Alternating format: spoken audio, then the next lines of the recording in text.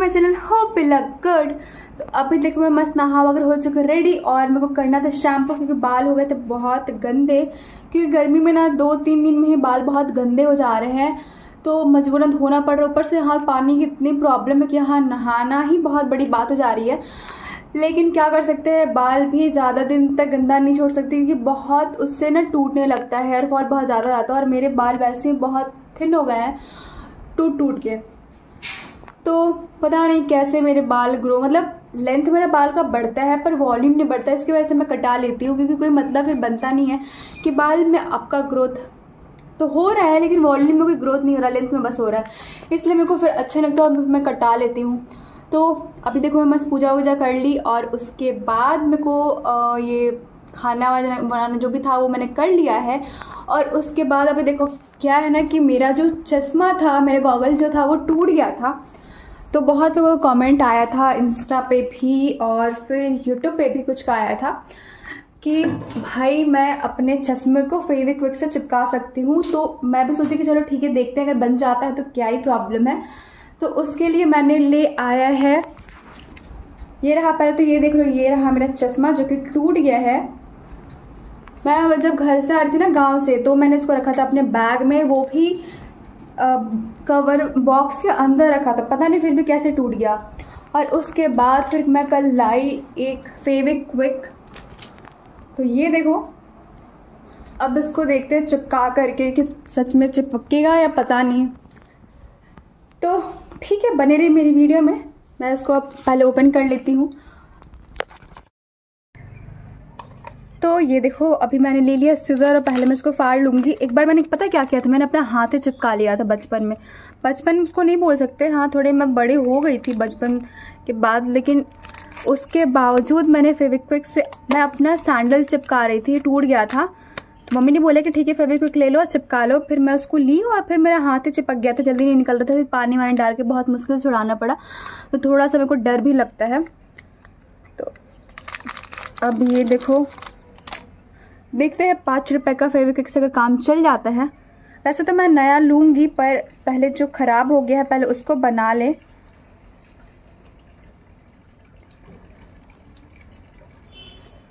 मैं बता बहुत दिन से ना लाइटर खोज रही हूँ, मेरे को नहीं मिल रहा है। और मतलब दुकान में मांगनी में सर मारा है, क्योंकि लोग बोलेंगे भाई मैं स्मोकिंग करती हूँ, क्या जो मेरे को लाइटर चाहिए। पर मेरे को कुछ कुछ वीडियो बनाना है, उसकी वजह से मेरे को लाइटर चाहिए। अब मैं सोच रही कहाँ से लूँ? ये देखो, इस तरीके से कुछ ये ब्रेक हो गया है बीच में से ही। तो देखते हैं चिपकता है या नहीं। अब देखो, पहनने के बाद मैं तो इस पर दो तीन रील वगैरह भी बना दी वीडियो वगैरह। तो देखो, पहनने के बाद कुछ ऐसा लग रहा है। इसका ना शेड मेरे को बहुत अच्छा लग रहा था। इसके वजह से मैंने इसको लिया था। अब देखते हैं कुछ अब तो लूँगी तो फिर दूसरा ही लूँगी। फिर से ऐसा लेने का कोई मतलब है नहीं। तो बस ये चिपक जाए।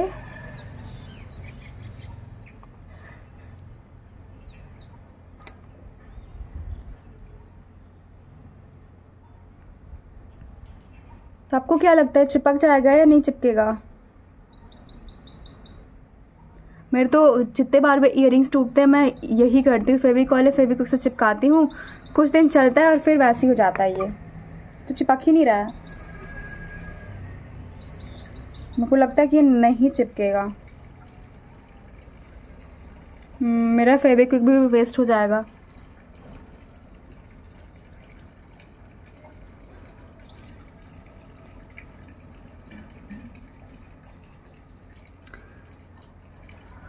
हल्का तो चिपका है फिर पता नहीं कितने टाइम तक तो ये रहेगा इसको थोड़ा देर रखना पड़ेगा ना।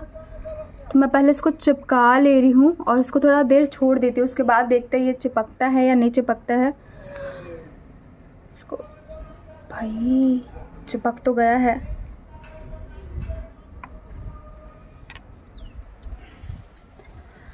और इधर देखो मेरे फेस थोड़ा वो भी डैमेज हो रखा है। गर्मी की वजह से कुछ करने का मन नहीं हो रहा, कुछ लगाने का मन नहीं होता है। क्या करे, समझ में नहीं आ रहा। और जो फेशियल मसाज होता है ना, वो भी मैंने छोड़ दिया है। गर्मी में कुछ भी करने का मन नहीं हो रहा।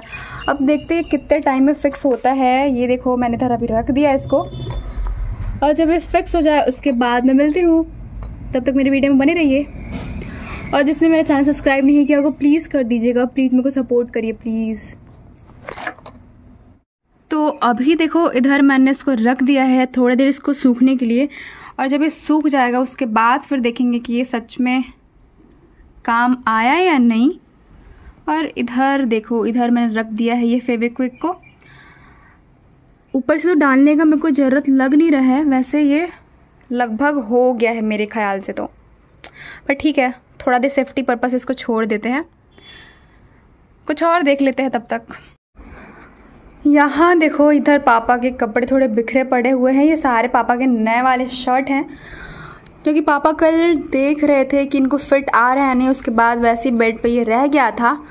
तो ये मैं अब भी कुछ दिन पहले मॉल गई थी, वहाँ से ली थी। तो मम्मी को लग रहा था कि दो शर्ट का कलर मैच हो गया है। तो आपको क्या लगता है कि मैच हुआ या नहीं? ये मैं जब भोपाल गई थी तो लाई थी पापा के लिए शर्ट तो मेरे को लगा कि नहीं, दोनों का टेक्सचर अलग है तो भाई बात सही है टेक्सचर दोनों का अलग है। इसमें कुछ इस तरीके का पैटर्न है और इसका पैटर्न थोड़ा डिफरेंट है और कलर भी दोनों का डिफरेंट है, ये देखो। पर हाँ मतलब अब जो लोग इस पर गौर करेगा, उसके लिए नहीं तो लगभग सेम ही है और उसके बाद फिर ये वाइट कलर की कॉटन शर्ट अभी गर्मी में तो भाई वाइट बहुत अच्छा होता है और आरामदायक भी होता है गर्मी के लिए। तो ये देखो, पापा का शर्ट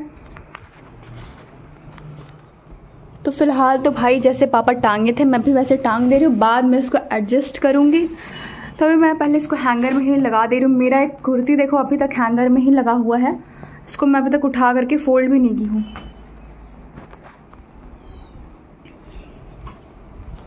मेरा आधा सामान बेड पे पड़ा हुआ है, ये देखो।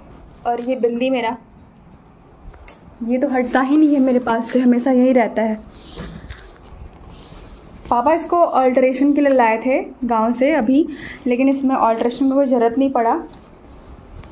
तो अब इसको एज इट इज़ ही पहनेंगे वो। तो इधर अभी मेरा बेड हो गया है खाली और भाई लाइट का यहाँ भरोसा रहता नहीं है तो ये पंखा तो यहाँ इंपॉर्टेंट है। एक ये देखो, ये है मेरे पास हैंड सैनिटाइज़र लेकिन ये पता नहीं इसका स्प्रे ही काम नहीं कर रहा है।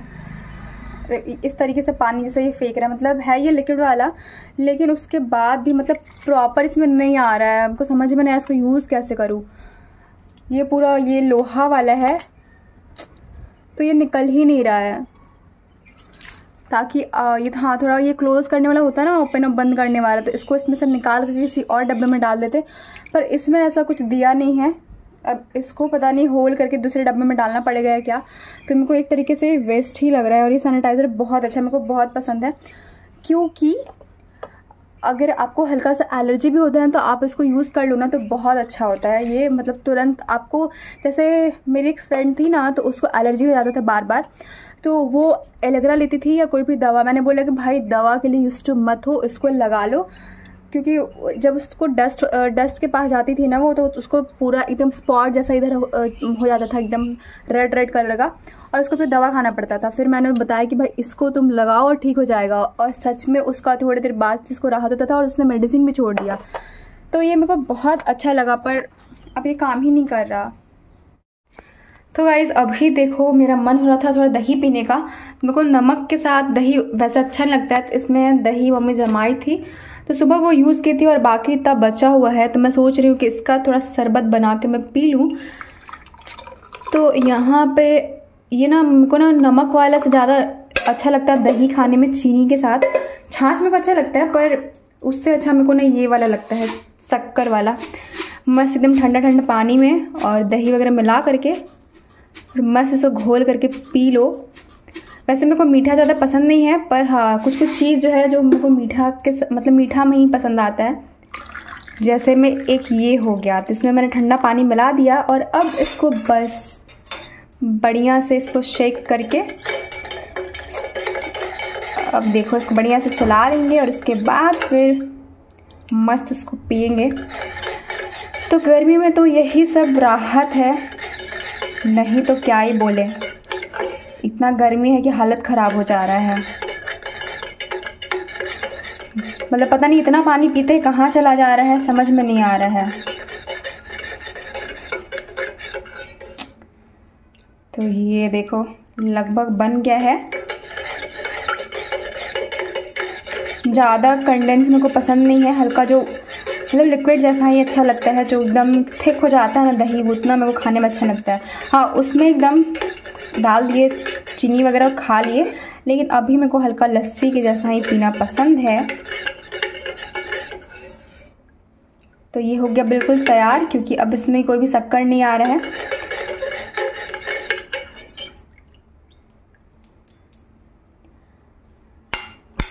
तो अब मैं जा इसको पीने।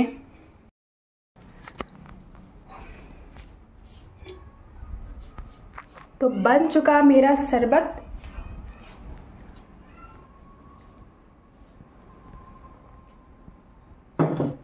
थोड़ा सा दही खट्टा हो गया।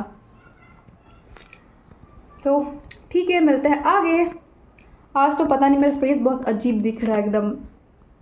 गर्मी की वजह से ना ग्लो ही ख़त्म हो गया। मैंने तो उम्मीद छोड़ दी अपने फेस से, भाई जाओ, जैसे रहना रहो। इतना टेंशन कौन लेगा यार? तो अभी देखो, शरबत पीने के बाद मैंने धुला ये बर्तन। कुछ कुछ नाश्ता करने के बाद रह गया था तो ये वही था और अब मेरा हो गया बर्तन धुला हुआ। तो चलते हैं आगे देखते हैं और क्या क्या होता है।